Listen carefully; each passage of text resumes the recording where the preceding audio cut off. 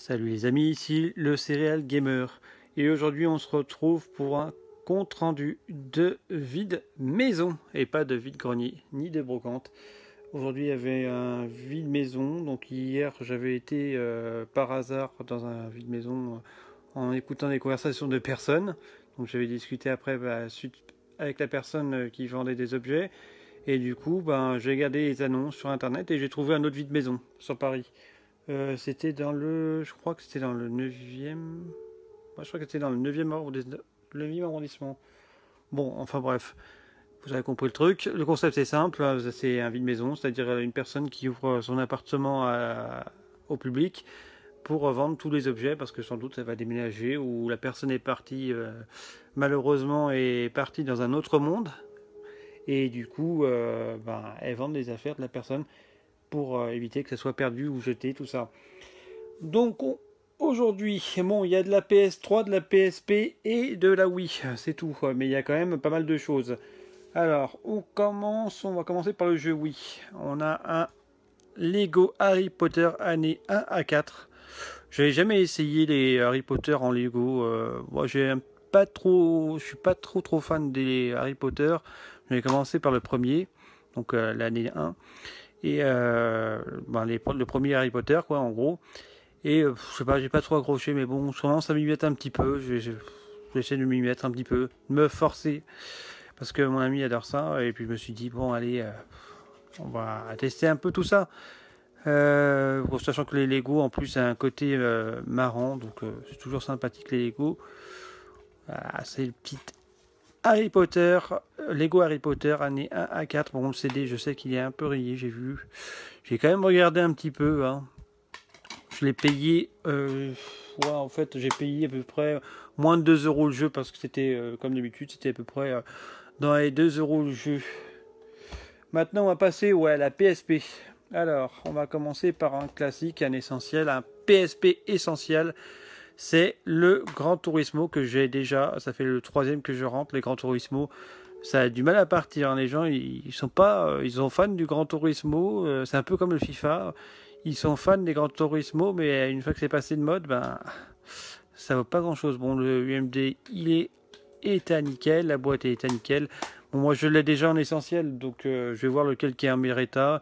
Puis au pire, je garderai la, boîte. Hein, euh, je garderai la boîte et puis je revendrai la notice et la jaquette et le jeu. Ça, c'est fait pour celui-là. Maintenant, on va passer au jeu, ben, au film PSP, donc les UMD vidéo. On va commencer par celui-là. Bon, celui-là, c'est un classique. Bon, je ne l'avais pas dans la collection. C'est les 11 commandements avec euh, Michael Youn, Vincent de Sagna et Benjamin Morgan. Et euh, ah bah tiens, il y a une notice. Ok. Bon. Ok, il y a une notice dans. Ouais, non, ça n'a rien à faire là en fait. Euh, c'est euh, la notice de Tony Hawk Project 8. Donc si ça intéresse quelqu'un, bon bah j'ai la notice du.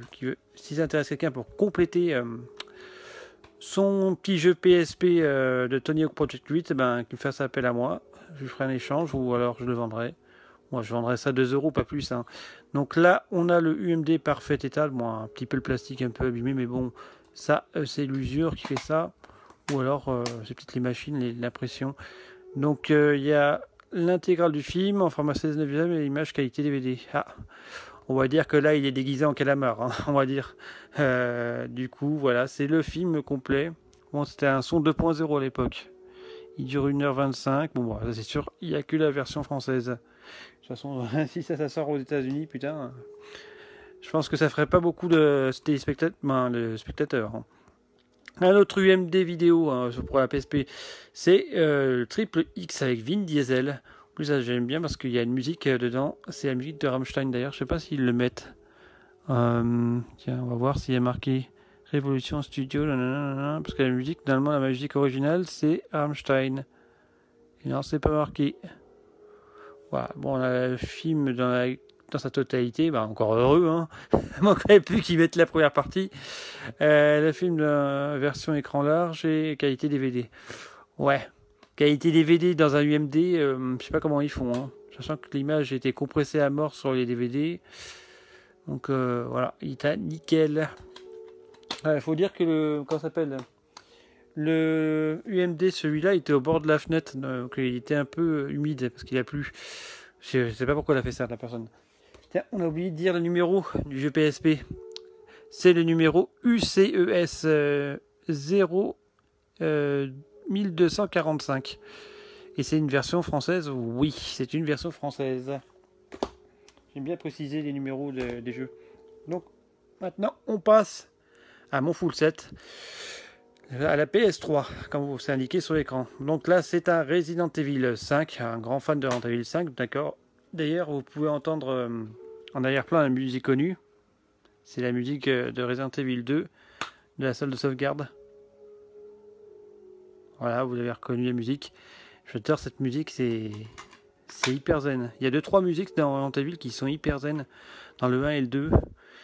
La musique du manoir quand vous rentrez là, la première, et euh, surtout celle-là, la musique de sauvegarde. Il y a une autre musique dans Resident Evil 1 qui me plaît aussi. Donc là, il est en parfait état, le Resident Evil 5, c'est nickel, donc ça rentre dans la collection. C'est le numéro 485, et celui-là, je crois pas qu'il y ait trophée. Je sais que sur PS4, euh, les trophées sont disponibles, parce que je l'avais platiné, si je dis pas de bêtises. Et euh, j'avais platiné le jeu, mais pas les DLC, donc euh, je crois que c'est un truc comme ça, il me semble, de mémoire. Et il est en français, et c'est juste magnifique, la boîte est nickel. Celui-là était bien entretenu par contre, lui, il n'a pas été bien entretenu puisqu'il a perdu sa boîte. Donc, euh, il est dans un boîtier DVD.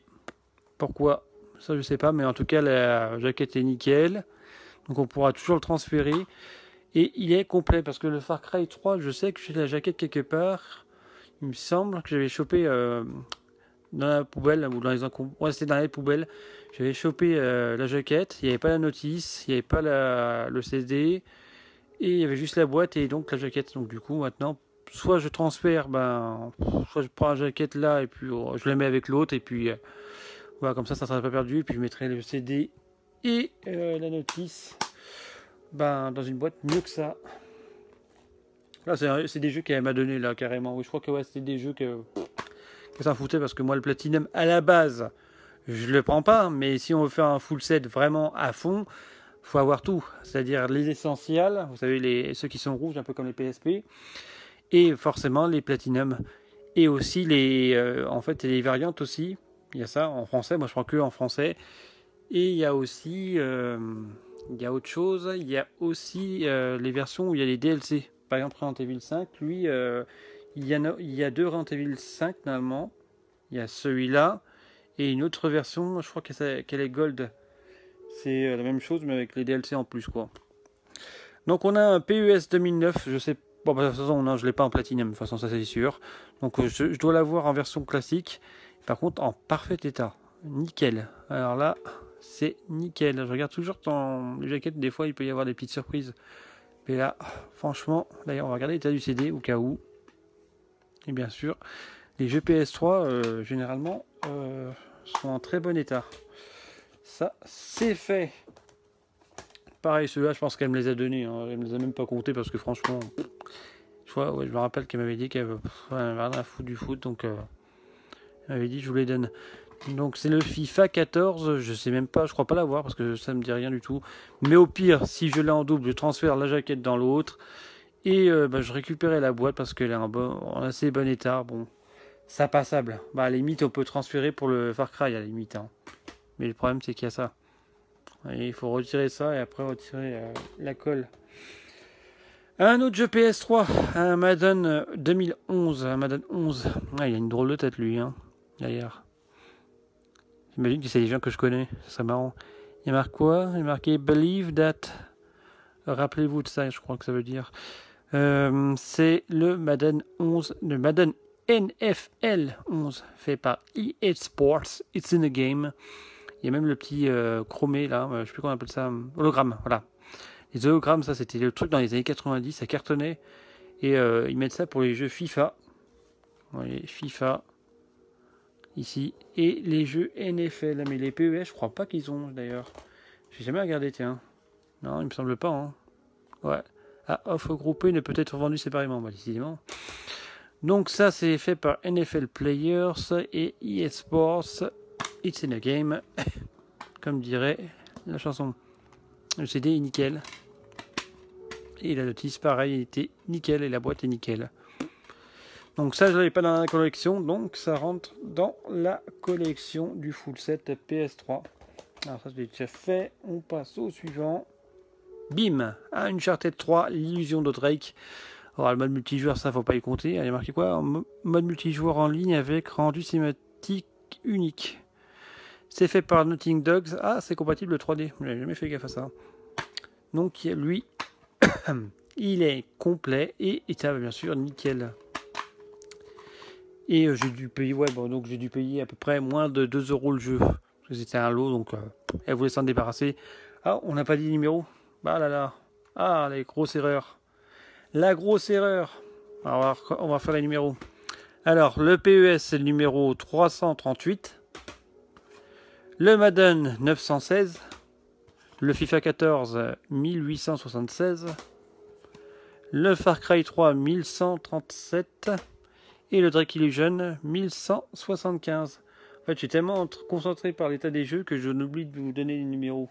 Bon, c'est pas très important, mais bon, c'est toujours agréable de savoir. Alors, je sais pas exactement à quoi ça correspond. Est-ce que c'est le. Bon, je sais que ça, c'est l'ordre de sortie, mais euh, est-ce que ça voudrait dire que c'est le 1465e jeu qui est sorti?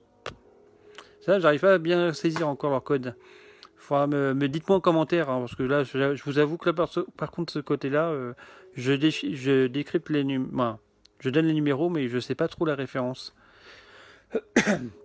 Donc là, c'est le Resident Evil 6 que j'avais pas en boîte normale. Moi, j'avais la version, la version euh, collector.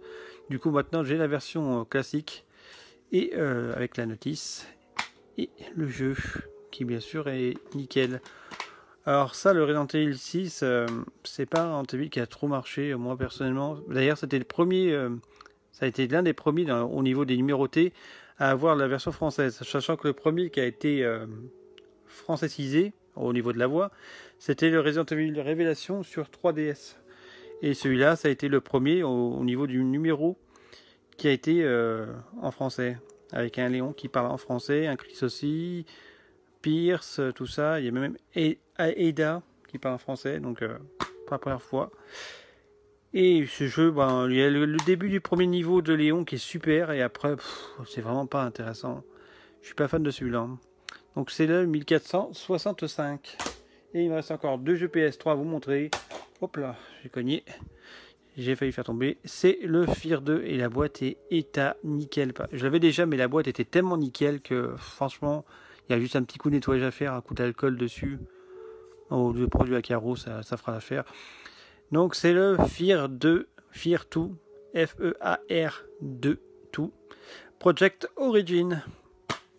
Et il est complet. Normalement, je l'ai. Mais celui-là était tellement nickel que je vais peut-être euh, soit échanger quelques trucs ou alors carrément tout échanger. Comme ça, l'autre je le revendrai. Le FIR 2 Project Origin. Moi, FIR 2 Project Origin. 464e. Euh, Et euh, moi j'aime bien dire les mots en anglais. Pour respecter un petit peu ce qu'on ce qu'on dit. Ouais, ouais, un peu humidifié là. Hein. Bah, un peu euh, pris la flotte celui-là. Alors c'est un Dishonored, j'allais dire deux, mais non, c'est un Dishonored tout court. Et il est complet. Celui-là je le connais pas. Je sais que je l'ai. hop, il y a une poussière, un petit poil là. je sais que je l'ai sur, il me semble, sur PS4 le 2, mais sur PS3 j'ai jamais eu l'occasion, donc du coup ça sera l'occasion maintenant. J'ai plus le choix. Et là, ce qui est bien, c'est qu'il y aura les trophées, parce que généralement quand il y a la, bonne la bande noire comme ça, sur le côté, généralement il y a les trophées pour tout cela. Ceux qui ont le petit truc rouge, généralement non, eux ils en ont pas. La plupart du temps, mais il arrive que des fois il y en ait. Donc j'ai rentré donc 1, 2, 3, 4, 5, 6, 7, 8, 9 jeux PlayStation. Donc, euh, alors elle m'a fait, euh, on, va, arrondir à 2. Je crois que ça a dû être, euh, ouais, 2, 4, 6, 8, 10, elle me l'a offert. 12, putain, je me rappelle même plus combien j'ai payé. J'ai dû dépenser une vingtaine d'euros à peu près. Je crois que j'ai dû arrondir à 20 euros parce que j'ai donné que des pièces. Donc ça devait être 20 roues, je me rappelle même plus. Et donc on a 9 jeux PlayStation 3, un jeu Wii ça fait 10, deux UMD ça fait 12 et un jeu PSP ça fait 13. Donc là j'ai eu 13 jeux, ouais, j'ai dû dépenser 20 euh, euros, donc ça fait à peu près euh, moins euh, moins de 2 euros le jeu. Voilà pour cette petite et belle rentrée de jeux PS3, PSP, UMD et Wii. bah, là ça va être surtout pour un full set. Après ça, le Lego Harry Potter, ça sera pour les essais les films, euh, ça sera ouais, peut-être essayer de faire un full set de films UMD puisque ça vaut que dalle, hein. ça vaut euh, ça je peux les trouver à 1 euro, je pense facile, 1 euro euh, ou 2 euros maximum hein, pour les films, sachant que j'en ai déjà, euh, bon j'avais pas beaucoup, j'avais déjà les Resident Evil que j'avais acheté à l'époque, donc ça me fait à peu près une 5-6 films en UMD. Voilà pour ce compte rendu de vie de maison. je vous dis à bientôt. Euh, rendez-vous pour les prochaines vidéos. Il va y en avoir plein d'autres. Hein. Il va y avoir des let's play avec cet écran là. Euh, en attendant de trouver euh, bah, tout le matos parce que j'ai même pas d'ordinateur pour faire un montage. Le seul ordinateur que j'avais, ben, il m'a lâché. il ne veut pas démarrer. Il reste sur le menu Windows. Il bloque. J'ai beau relancer un nouveau Windows, ça bloque toujours. Donc du coup, je vais investir dans un ordinateur, mais euh, je vais investir dans un gros truc. Hein. Euh, après, ça bastonne à mort. Hein. Euh, fini les petits trucs comme ça, montage un peu à l'arrache. On va faire les choses bien. Mais en attendant, on fait comme on peut avec ce qu'on a. Hein. Donc n'hésitez pas à mettre un pouce bleu, à liker la vidéo. Donc ouais, le pouce bleu, c'est liker la vidéo, quoi. En gros, c'est la même chose. C'est le même truc. partager la vidéo, comme ça, il y a plus de vues. Et s'il y a plus de vues, ben, ça va plus me motiver à faire plus de vidéos. Euh, et, après, par la suite, quand j'aurai beaucoup d'abonnés, ben, il y aura des concours, tout ça, des trucs comme ça, comme chez les autres youtubeurs. Euh, du coup, n'hésitez pas, pouce bleu, partagez la vidéo, n'hésitez pas à commenter si j'ai fait des erreurs, ça peut m'arriver de faire des erreurs. Si vous avez euh, une idée pour le marquage des jeux PlayStation, le numérotage, si vous pouvez m'expliquer le numérotage des jeux PlayStation, n'hésitez pas. Je prends tous les conseils, ça fait plaisir. Merci et à bientôt les amis. Ciao